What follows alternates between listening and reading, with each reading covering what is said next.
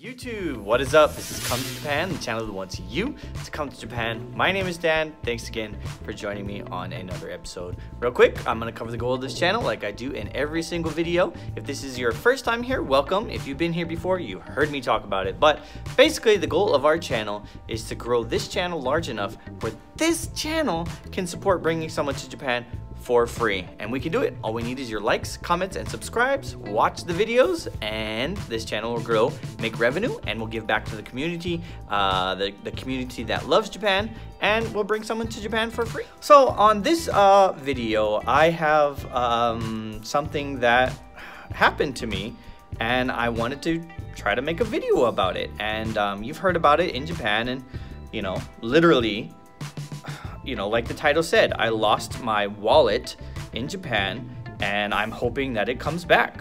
Um, and we'll see if it comes back. This is just kind of the, the first part of it. Right now, as I'm recording this video, I have no idea if I'm gonna get it back. I don't have no idea if this video is even gonna come out, but I'll probably put it out and, um, you know, even if I don't get it back, I still wanna maybe put this video out there uh, and kind of talk about, you know, the culture of you know wallets being returned to Japan, uh, and you've heard it quite a bit.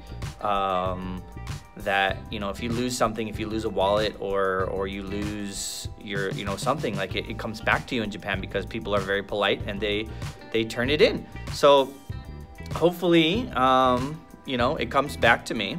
Uh if not well bummer. We'll see. We'll see. Right now i'm recording this um because i lost it this morning uh, we'll see. Hopefully, I would love to get it back same day, but you know, I don't know. They gave me a card. They said they'll call me if they find it.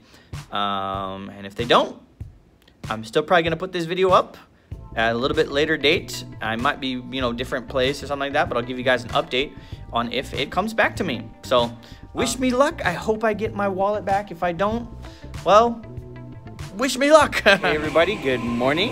Uh, I'm just giving you a quick update. I have some very good news they found my wallet. It's the next day, uh, and I'm super excited. And I'm gonna take you along to uh, go pick it up and show you the ride. I'm at the station right now.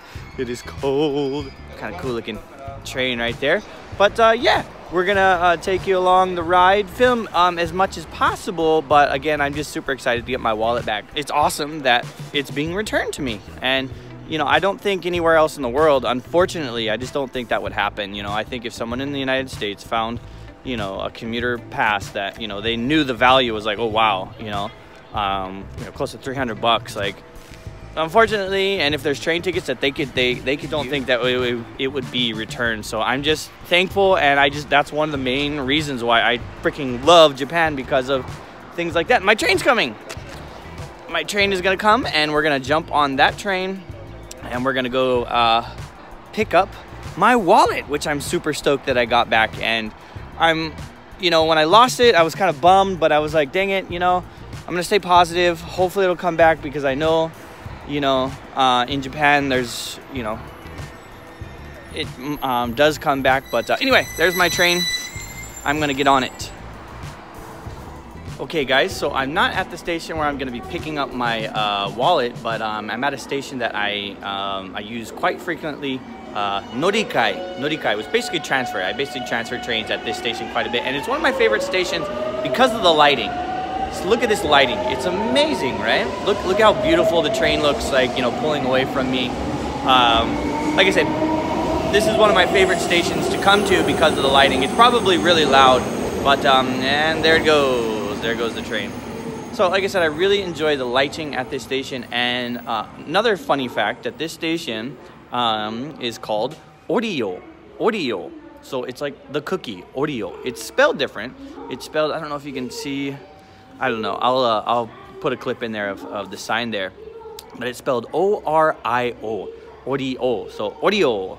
But uh, in English, we say Oreo. So, wow, that's loud. All right, guys, we'll catch up with you in a sec. Audio. Audio, audio, audio. Oh, there's another train pulling out. Bye-bye. Where do you gotta go? Where are you going? Like I said, I'm just always impressed with the lighting at this station. It's just beautiful, beautiful lighting. at this station. I think it's because they have these these awesome windows here and um, you know whatnot. So anyway, Orio station.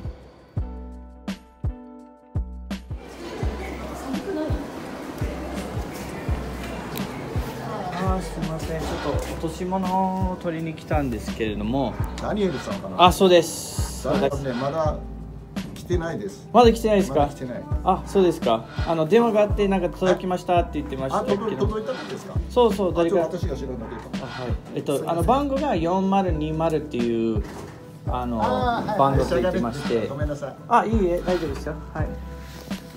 こちらですね。あ間違いなく。OK? あこれダニエルさん。これは違いますね。違う？名前がちょっと違いますね。本当やん、川本匠さんになった。そうそう。それは日本人の方なんですけど。ごめんなあさい。日本人じゃなかったかな違う 一応日本人じゃないですからね。そうそうでしょうね。ジャパニーズ語やけど。あそれです。それです。大丈夫です。あ間違いなくこれです。多分名前も名前もこちらの、えっと、ダニエル・ダナムです。はい。じゃあダニエルさん申し訳ないです。こちらをあはいこちらを。難しいです。八幡西とかすごい漢字難しいですよ。見たことあります？もちろん。まあすっごい難しいんで。すよ書けない書けない。うん。の2の23805室で名前とか。ダニエル。ダニエル・ダナム。771 OK。はい、ごめんなさい、ちょっと見させてくださいね。あはい。どうぞ。確認します。はい。今、博多区の、あ、こっちか。ごめんなさい。そうですねこちらですね。日本に住んでどれぐらい？えっと2年半ですね。おー2年半ですね日本語バッチグ。い。やーなんとなくです。よ く間違ったりします。出身はどこ？出身はアメリカです。アメリカのハワイです。ア。メリカのハワイで。あそこでまあたくさん日本人いますのでそこで全部日本語勉強になってて。はい。日本に来た目的は？ああの奥さん。奥さんが日本人の方で。そうそうそうそうですのでこっちに。あワークワーク。何何してるんですか？はい。何をしてるあ私あの英語の教師をやってて。そうそう英語の教教師やっててはい。じゃあもう大丈夫ですか？はい、大丈夫ですよ。はいすいません。施設にありがとうございます。失礼します。はい。How much money do I have in the bank? How much money? Do you make? あー、not enough 少ない。もっともっと欲しい。そう足りない足りない。すいません Okay, everybody, I got it back. This is what I lost, uh, and it fell out of my pocket. I want to show you really quick what, basically, what I lost. This is, this is my Hayakaken. This is the IC card I use for just like, uh, just kind of charge it and put money on there so I can use it for the bus. But this guy right here, this other one, like I said, this one right here is the one I use every single day. It's the commuter pass, which is called teiki It's worth 300 bucks, right? So I could, I found out that I could actually get it reprinted uh, and, and reissued. So I wouldn't have had to buy it again, but I've had, again, I've had this wallet for a long, long time. And these actually, someone could have used these. Someone could have used this, all right? This, so the commuter pass pays for like the regular fare, but this is the express ticket. So you need for some of the trains, express ticket, an extra express fare. Um, so someone could have someone could have taken this. They could have saw this and be like, boom, because this is still good till December 5th right there. Um, and they could have used it between Hakata and Kokura or Mojiko. They could have used it, and this is this is like six dollars right here. So it's not that much, and I, but I have like four of them, right? These extra express tickets. So somebody could have literally pocketed these and you know and used them uh, if they wanted to if they were traveling in between um, those areas but they didn't. They all came back. So basically you know honestly i look at these as like actual money right? This is actually like money. Someone could use this you know? They could use the the commuter card as well. Uh whatnot. So anyway guys uh, very interesting. There's a gundam vending machine right here.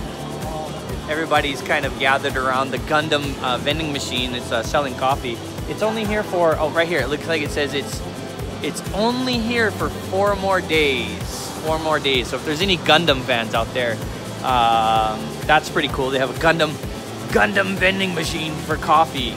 which is uh, really cool, and that's definitely Japan for you. So, uh, all right, guys, I'm super excited that I got my. Let me put this away.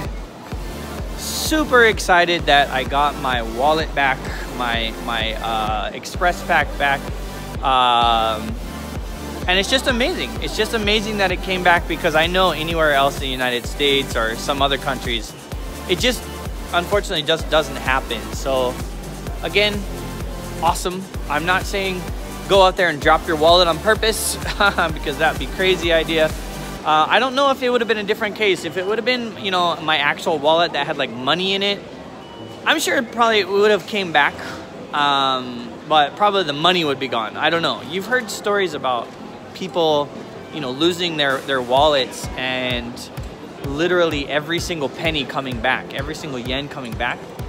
But you never know. I think it's case by case. And, uh, but I think the probability, I, I was pretty sure the probability was like really high that uh, it was going to come back to me. So, anyways, guys, uh, I'm going to cut it off here. Um, this has uh, been an awesome journey, and I'm glad I got to film this video. Uh, I don't want to do it again. Honestly, I don't want to, uh, to lose it again. It really was. It really wasn't that much of a situation, but it's just I don't want to lose it again, right? I, I just don't want to. I was worried, and I did actually have to, to pay a little bit extra to ride the train, so I, just, I don't want to do that ever. And the couple of guys that were working at the uh, the Lost and Found Center, they were hilarious. They were really funny, um, you know, and really helpful, and uh, they just made it like better. Um, for it. And I would imagine most times when people go in there, like, to be honest, I bet it's actually a pretty fun job because, you know, at least for me, because when I went in there, I was stoked. I was, I was in a really good mood because um, I got my thing back. And I think maybe that bleeds into, to, you know, their job. And they were pretty happy and cracking jokes with me too in Japanese and, and whatnot, you know? So I would imagine, you know, I was probably some kind of upset people that, that go there, but I don't know, like when you get your stuff back, I'm, I'm, I'm pretty sure most everybody's pretty cheerful. So, all right, guys, this is Come to Japan, the channel that wants you to come to Japan. My name is Dan. Thanks again for checking me on this episode. Hit the subscribe button, hit the like button, leave me a comment, check out some of my other videos, and we'll grow this channel. We'll bring someone to Japan for free through this community that we're gonna create on this channel. All right, guys, mata ne, bye bye.